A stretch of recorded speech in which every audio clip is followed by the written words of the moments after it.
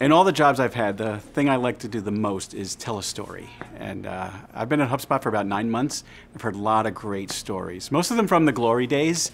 Um, so I want to share one story that I had recently, about a month ago. Uh, I met with uh, Todd and Ellie uh, from the Rock and Roll Hall of Fame, and they're using a new feature of one of our products, and we wanted to tell a story around that.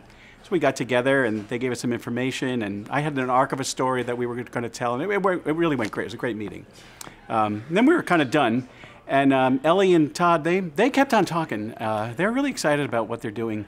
And uh, they said that they wanted to transform the way they communicate with their community. Uh, they actually said that uh, they're going to turn it on its ear.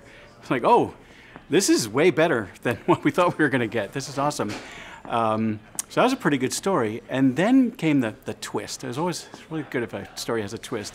And they said that what, what they see themselves doing is working together with uh, other businesses and, and events in, in, in, their area and making Cleveland a destination city. Like their vision is so big and so great. Um, yeah, HubSpot is a part of it and it's great to be included in that. Um, it's just that their story just got bigger and bigger. And uh, for me, to have a front row seat at the Rock and Roll Hall of Fame uh, and, uh, and what some of their glory days are, that's a, that's a great story. So Todd and Ellie, uh, thank you so much for letting us sit in on that, and thank you for what you're doing for the, the Hall and, and for Cleveland.